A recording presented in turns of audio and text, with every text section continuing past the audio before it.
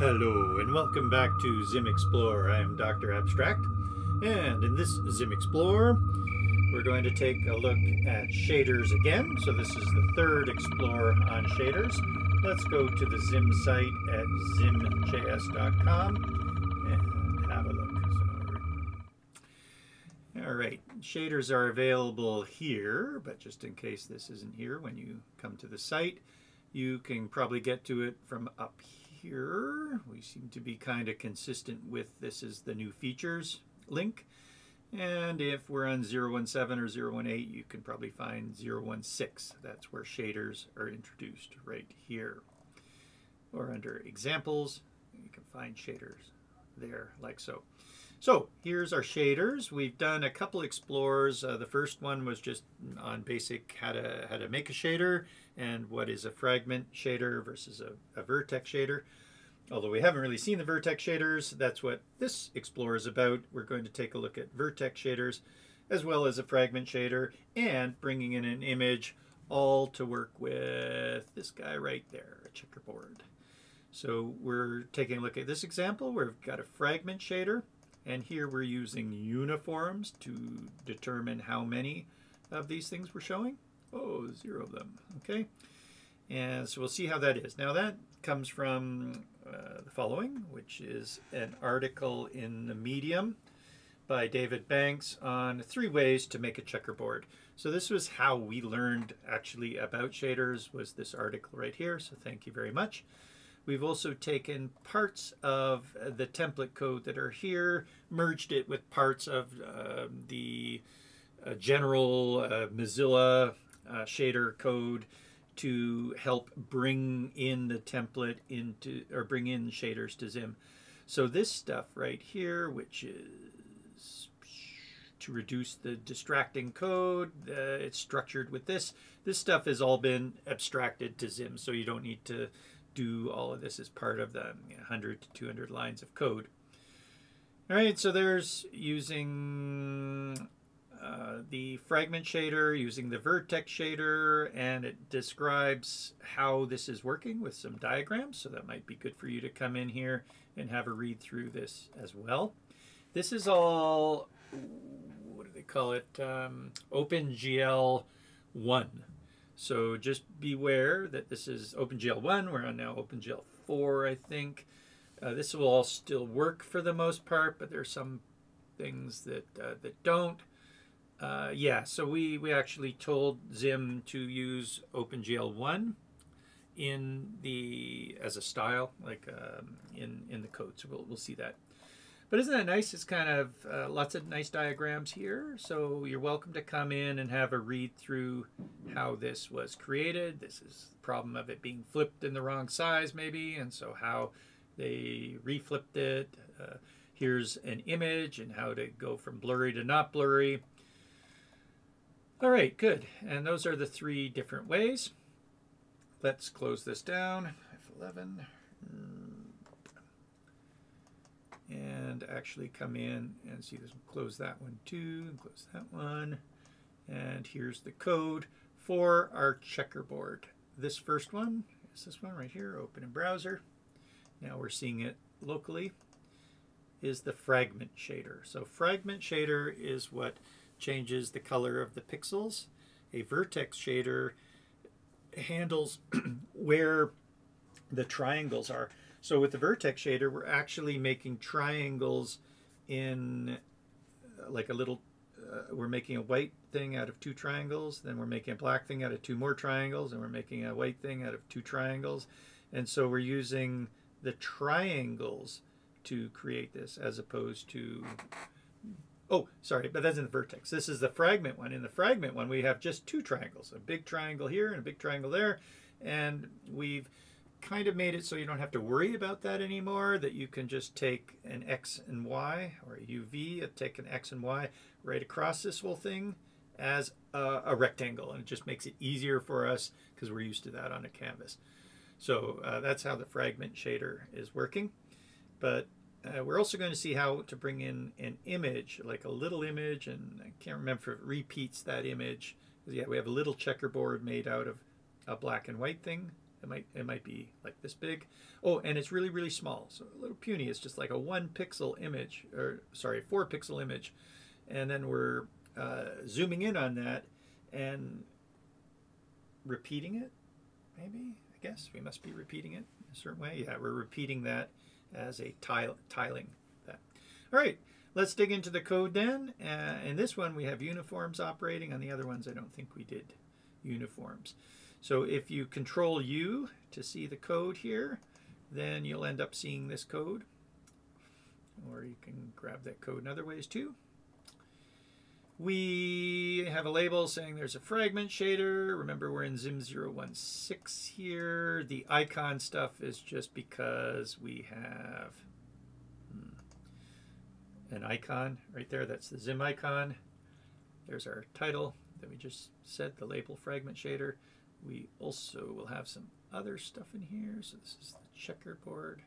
How I get down to the footer? Oh, I hate this by accident. Uh, we're in a fit mode. There's our label. We are now making our fragment shader. So in the past two explorers, we've been working in fragment shaders. So that is uh, will be the same. And here we've got a uniform happening, but there's our shader right there, 500 by 500. Passing in the fragment code there. We'll go through the fragment code in just a sec. There's our uniforms we're passing in. And we're also making this not dynamic. We're not we're not animating this shader, so we should turn dynamic false. But that does mean when we update something, for instance, there we are updating the uniforms with the steppers that we have to do the board dot update. Otherwise, we won't see the update. If we took these guys off like that, we wouldn't need the board dot update. And a board dot update will see if the board's on the stage. It will also update your stage, so that updates the stage as well. Okay, so coming back up, the fragments. Well, let's see. We've got the format that is being used by Shader Toy there, where we're bringing in frag, or we're sending out frag color. We're bringing in frag coordinates. We're using that frag coordinates times how many we want. So counts is here. It's 8 by 8 at the moment. So it's starting off 8 by 8 but counts A, which will be the first part of uh, the counts, and parts B are being set by the stepper, uh, both of them. So we're setting, in other words, we didn't really need two things here. If we, uh, we could, if we wanted to, have separate values, but we only have one stepper, and we're keeping our checkerboard symmetrical diagonally, I guess. So uh, same number of rows and columns. If we wanted to, though, we could comment out that, for instance. So now we won't be changing the B's. And what will that do? So our if our uniform is counts, we're not updating the second one. Okay, let's see what that does. We refresh here. And now we are only changing the columns there. So that could have been done if we wanted to, but we decided not to go that route. Although that's kind of fun as well right? We're updating dynamically both of them the same, and that means we are getting checkerboards of different sizes. Uh, okay, where they both. The checkerboard itself, hmm, let's see, we're dividing that by, so that will tell us how many we got, does it, or how, how big the things are, or how many, I don't know. The resolution is the width, this is the frag coord is the how far in the x along times the count, yeah. And then we're doing the modulus on that, dividing it by 2. Remember that uh, we want that to be a float, so that means you need at least two decimal, like 2 point, or you can put the 0 on the end. And that's like the percent sign in JavaScript and we're deciding on which state that is based on so a little trick there to uh, do uh, alternating as it goes and then we're mixing the two colors that we've got color one color two where they come from our two colors are black and white. So we're passing in two colors. They don't have to be black and white. We could say 0.5 here, and then it would have some red in the white. And then it would be a kind of like a darker red along with black, I guess. Or is it white? Yeah, okay, sorry, that's a zero. All the rest are, that's white, so a bunch of ones. Okay, so we are also receiving the, um, the two colors.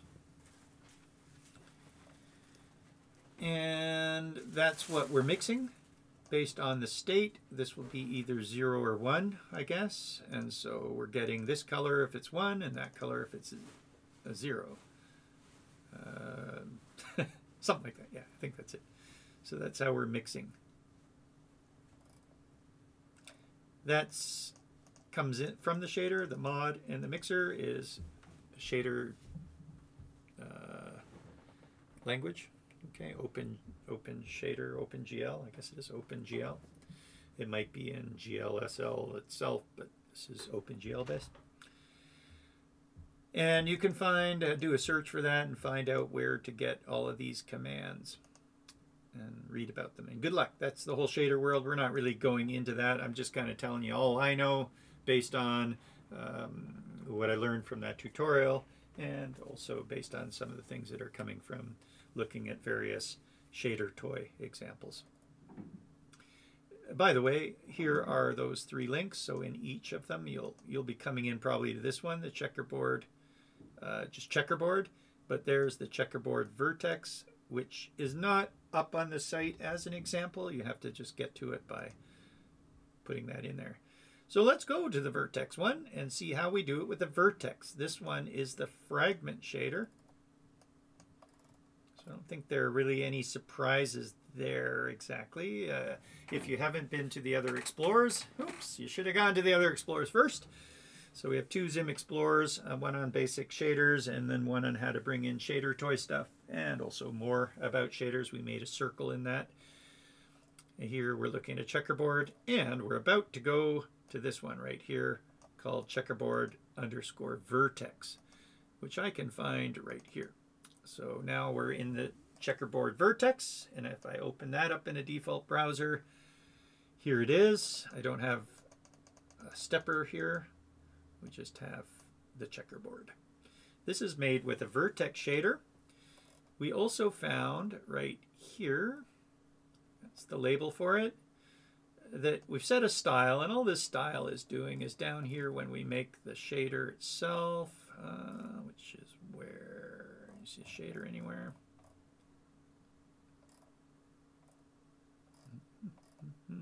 There it is. New shader. When we make the shader, if we wanted to, we could have put this right inside here. I don't know why we didn't bother actually because we, we've got the Zim Duo technique already. So here we could have said version, colon, quote, quote. That puts it back to version zero we did it with a style and then log colon true. We could have said that here, log colon true. I don't know. What do you think? Probably should just do that. Okay, and maybe we'll move this down below here to where we make the shader.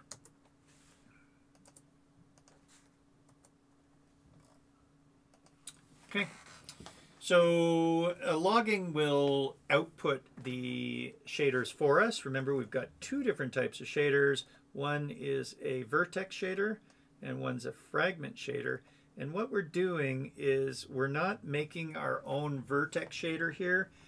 Uh, there is a way that if you want, you can put code into the vertex shader, into the default vertex shader, either after or before what we've got there. And in this case, we're adding code after the existing default vertex shader. So we didn't bother making the whole vertex shader on its own, but you could have done that. So down below, when we make the shader, we're saying post call. So after we call the shader code, we're adding that code, the after function. So here's the function to add afterwards. When we do specify a function, we're given that function is given this information, which can be helpful for us.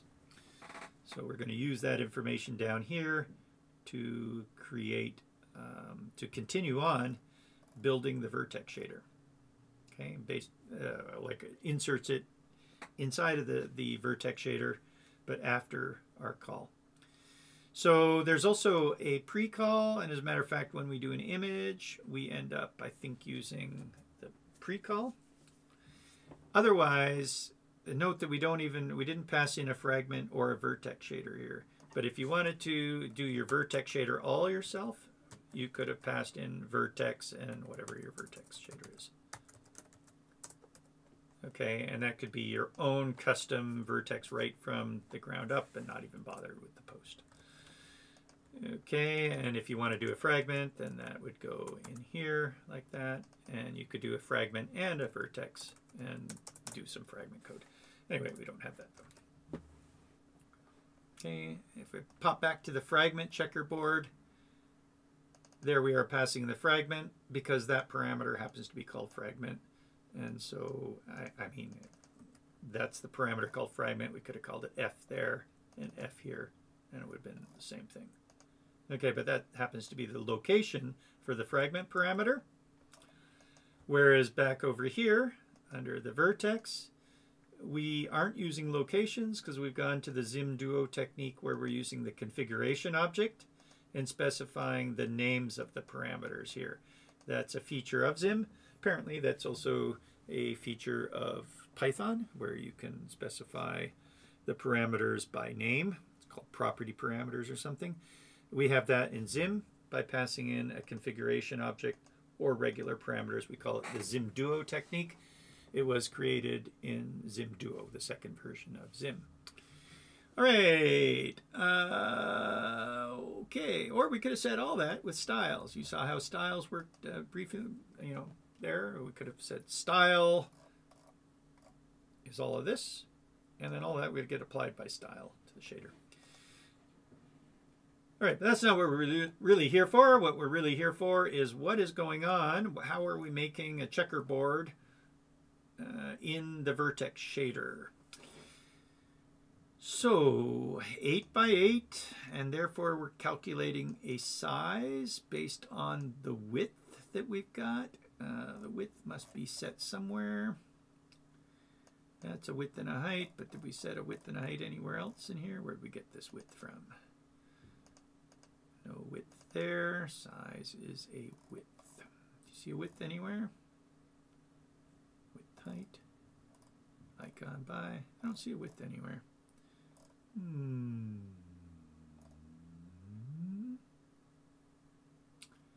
Cont size equals. Oh, uh, sorry. That's the name of the um, object literal. Darg, darg, darg.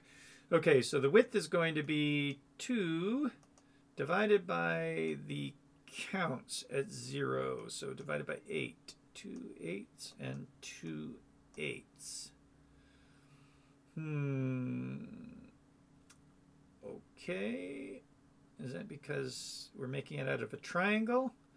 And we need two of them? I don't know. That's figuring out a size. We're dividing 2 by that. Okay, okay, so we must have some sort of size that is more like zeros in the middle, negative ones at the left, and 1 is at the right. And we're dividing that amount, which is 2, all right? If, if negative 1 is at the left, zeros in the middle, and 1's at the right, then we've got, because uh, I, I believe that's the dimensions of the vertex shader. So negative 1 at the left, 0 in the middle, 1 at the right. That makes two units. We're dividing those two units by the counts to get the size of each of our rectangles. Oh, do I have to go over this with you guys? all right. Anyway, it, uh, that's all. Uh, he explains this in the tutorial. So why don't you just go look at that tutorial if you want to actually figure out all of what's going in here. What we're really trying to show you is how we've implemented that so that you can make this in Zim rather than in just uh, WebGL.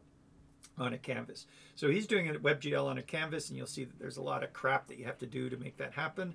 We've got it here in Zim, where we can start operating it on things like sliders and dials and animating and wiggling and dragging things around because it's, it's treated as a bitmap.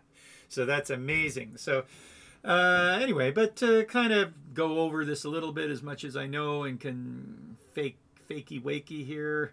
We're looping then across the size there. We're setting some alternating trick to be able to alternate the colors going. This is this is kind of like how to make a checkerboard type tricks that are going on here. Then we're looping through, so we've got an outer loop and an inner loop, rows and columns stuff. We're continuing, so do not add anything. Maybe where there's white, we don't put anything or something. And when there's black, we put something. Okay, so then what have we got? We've got the dimensions. Ah, okay, so now what we're doing is trying to find out where this where these triangles are going to go. I believe we got end up with two triangles, and we're saying the left corner, the right corner, the bottom left corner, and the bottom right corner, or something like that. Uh, so we're keeping track of locations of those, and then we're putting it into the vertex data. Uh, and this is us making triangles, I believe. Looks like three points, yeah. So three points and three points. Two triangles that will make a rectangle. Okay, and we're spreading these points. So we have XY points for each triangle, and we're making big long vertex data that says, what do we want to make with our vertex shader? That's it. It looks like that ends up passing the vertex data by default. So do we have vertex data here? Yeah. So we're adjusting the vertex data. So this is a reference to the vertex object, vertex data object, and we just put some stuff in it. so I believe you end up with a, a default vertex data of nothing, like an array, uh, empty array, and we just push some stuff into that empty array. And that ended up making black and white triangle stuff. There you go black triangle stuff and nothing. So if we didn't have white here, we wouldn't see any white. And indeed, if we say red here and view it, then we get this. Red is a background. So the white, it's really only black that it was making, and it didn't bother doing anything for the, the white triangles, I guess. And we've thrown in a rectangle that happens to be the same size in behind the shader. So this is the backing rectangle. Otherwise, if we didn't do that, we would get orange, this background color. So now we get, that's what the vertex shader is making is these black rectangles and it's just sitting on top of the background now. Oh, isn't this a good explorer? And we're passing in the width and height. It's not updating. That's the function that is all this stuff. That's how we adjusted the vertex shader to include this vertex data. And there we go. We turn the logging on. What ends up getting made if we turn the logging on, F12 is when we look at the F12, it creates the whole thing for us. So this is the vertex shader. There's the default vertex shader. There's the default fragment shader. This is logging isn't helping us because all of that function that just got put in there, I guess, is after dynamically um, adjusting what this is showing. Okay. Huh, I wonder if we could make it log that extra stuff that we added, and then we would see it all tucked in together, but uh, that's not what the log's doing, so, oh well. Which means the log's kind of useless in this case. and just take it right out. Um, one thing to note, oh, one thing the log does help us see is, I think it does. No, it doesn't even do that. It doesn't tell us that we're using WebGL 0. Huh. Uh, I suppose that must be outside of that, perhaps we just use it. I can't remember. I thought you had to declare. Oh, maybe for WebGL. Yeah, I bet you that's it. For WebGL 1, you don't declare anything and it's WebGL 1. But if we had not said, uh, if we had, well, let's just check for version 2 here and turn the log on. Can't remember if that's 2 or 2.0. I think we have to go 2.0 and then log colon true. We probably get an error, but uh, maybe it'll try and show us something here. 2.0. Yeah, so that's how to declare it right there. You put the version right there, but this is unfortunately giving us an error. Maybe it's just the error 2.0 sitting in the front there. I swear we can set a version in some way. I don't know what happens with 2. Probably the same error. Yeah, same error. Uh, let's go to the docs. Oh, how is this for an Explorer? So going to the docs here and type in shader. There's the version right there. And so if we come on down in here, lots of examples. Boop, boop, boop, boop, boop, Fragment, uniforms, vertex. Pre-call and post-call. There's the version. Default. Ah, okay. We have to do a little bit more than that. So the default is pound sign version 300 ES. String version to add to the top of the shader would suggest leaving this as default. Use quote quote for lower versions. Higher versions probably will work using the pound sign. So uh, anyway, so anything lower than this default version of 3, so that's their version, that's version 3. Just use quote quotes for. All right, well anyway, I'm not sure that helped us out any, but uh, log true version quote quote is that I was wondering why when we logged it we didn't see the version in it. I'm still not sure, but it doesn't matter too much, I don't think. All right, there, that's it. That's the checkerboard via the vertex shader. And the last one is the checkerboard with an image. So that looks like here. Open a default browser. And the only difference really is that it's pink and there is our image 8x8 shader with an image. This one as well, we had a problem with the version. And here in this shader, we got a shader that does not use the ZimDuo technique. So, although the parameter for the version is not too far from here, but whatever, we'll leave it in as a style version. So couldn't get this to work in OpenGL 3 either. Uh, which is too bad because it would have been nice to figure out how to get an image in. So here we've got both a vertex and a fragment shader code that we're passing in. So when we make our shader, we're passing in the fragment code. This is for uniforms. We don't have any uniforms. And then the vertex code. We're hardly ever using the vertex code. So we put the uniforms, it would have been nice maybe to tuck these things together, but we use these four things quite a lot. And hardly ever the vertex goes, so we just kind of said, all right, let's put the uniforms in before the vertex.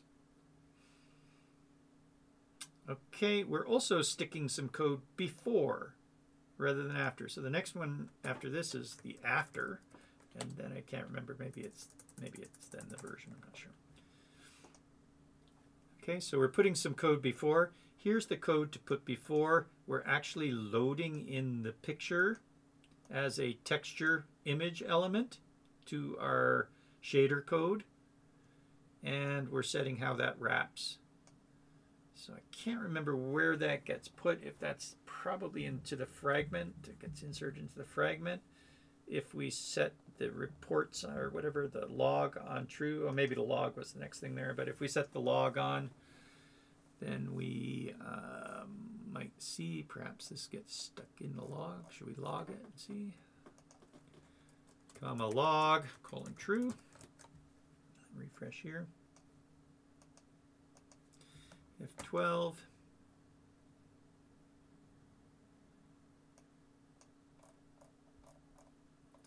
There's our vertex, nothing about an image, and there's our uh, fragment shader, nothing about an image.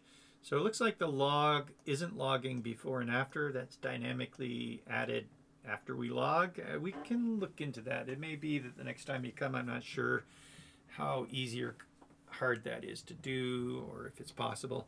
But I'm going to go take a look at that and see if we can log what we're adding before after. So that might change by the time you watch this. Sure. And let's turn the log off and see what we're doing. We're passing in a vertex shader that looks to me like it's pretty well the default vertex shader. Not sure. And this shader is pretty normal too, but ah, so texture comes from, uh, when the texture comes into this, so if the texture is coming in, it says that it's flipped and it's different coordinates. That's all explained out in that blog, uh, or the, the, not a blog, what do they call it, the uh, article or whatever on Medium. And that's this location. All right, so they really talk, uh, they do a nice job of showing what flip means and why we're changing it uh, here. So we're taking an image and this is the code that we're doing before then. So let's see what we're doing. We're bringing in a new Pic. This is the board and there's what the image looks like. It's really small. Oh, okay, that's not exactly what I thought it looked like. It is actually the checkerboard or a chessboard. okay, but just a one pixel one. So I'm going to zoom out of this. How do you zoom out?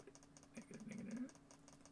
Okay, there it is. It's just a one by one pixel, uh, or sorry, it's a one pixel checkerboard. That's the image. So we're wanting to expand that bigger. So we do some stuff on the GL. This before will receive the WebGL object which is GL, and GL.create texture. We're then binding it to whatever uh, 2D texture, I'm not sure. Some text parameters. So this is how we're wrapping it and clamping it. Blah.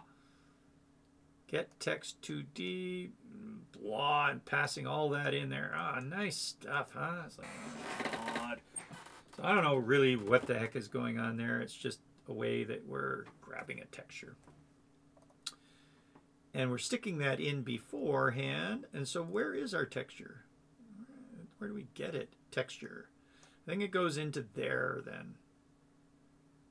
We're passing our normalized coordinates in there. So we have some coordinates that we've made. And we've said, yeah, put the texture. Let's, let's output as its GL frag color. Let's output. That's the default output. Note that we're not we didn't even declare that anywhere. In WebGL 1, that was how it was done. The output was always GL underscore frag color, and the input was always GL underscore frag uh, coords. We have told it that we got the frag coords from the vertex position. I think that was default as well we said that that's it, but I think it gets stuck in that. I'm not sure. So those are the like GL frag coords basically, and brought that in as a um, an attribute that gets passed from here to here. So there is, uh, it's a varying. It's called. nice, huh? Uh, it's not a uniform. So this is when you get information coming from up above. So the frag coords is getting passed into here from this side. Frag coords is the vertex position. I think that gets populated automatically. And then our GL position is, what is that? Is that setting? I don't know. Not sure. So that it has something to do with um, the vertex shader. Okay, uh, there you go. And that will get our texture. So if we didn't have that, we wouldn't see that little image. I don't know what scaled it. Maybe this said scale it. The coordinates looks like it from 0.5 to negative 0.5. That's going to flip it in some way. And like I said, you can read about that in this blog if you're interested in knowing what happens there. I'm not really interested in knowing what happens because uh, I don't think I'm going to. Well, maybe one day I need to bring in an image and use that image, say the colors of the image, and use the shader to, say, warp the image. So that would be really good to know how to do. I don't know if you've seen ones where you, you've got an image and you're warping it, like you're rippling it, or that's what shaders are good for, for controlling each pixel and moving it. A displacement map. So if you heard that term, a displacement map. And it would be nice if we could use a shader to displace an image, at which point this might be a route to try and get the image in. And then you could use shader code that already exists to warp that image in here. But this is WebGL 1. That's probably done. Like, I mean, that's famous. I'm sure that you got lots of examples of Web WebGL 1 warping things. So you're probably good to go.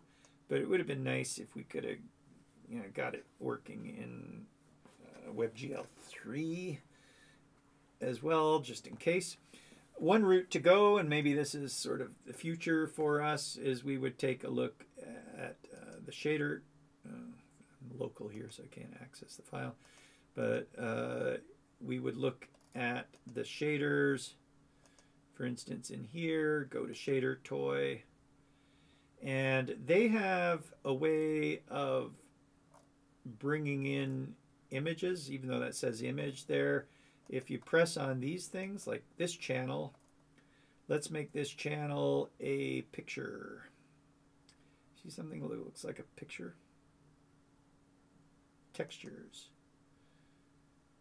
Okay, cube maps, volumes, videos. So you can bring in a video and you can apply shaders to the, this set of videos right here. Here's a set of textures. I don't know what happens if I press on one of these things. There it is, but do I have to re? Nothing showed up there, so maybe you have to then call that channel right there in this code somehow.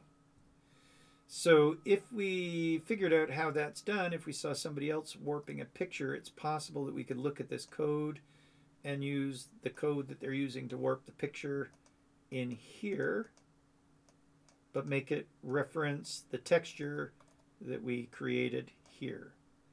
And then we're kind of good to go, aside from the fact that here is uh, WebGL 3 or more. I think that they're, they might be on 4, but WebGL 3 at least in here. So some of the things that they're doing here to warp the things, or whatever, might not work in here because we're specifying WebGL 1. Okay, so just watch out for that. That might be something that we should try and do and provide an example one day how to warp images and maybe possibly how to get images coming in better in WebGL 3. Okay. Hey, but that's what Explorers are about, is to talk about these things. We go through the code of stuff. I am Dr. Abstract. Um, hopefully that was fun for you. I don't know. I think the other two explorers were a little bit more fun, where we were showing doing more. But I thought it would be important to talk about the different types. So the, the fragment shader, the vertex shader. Uh, normally we're doing fragment shaders. This has some vertex shader stuff. And also we saw how to bring in an image. All the best to you then. I am Dr. Abstract, and this has been a Zim Explorer. Come and visit us at zimjs.com slash forum or zimjs.com slash discord. We'd love to see you there. All the best.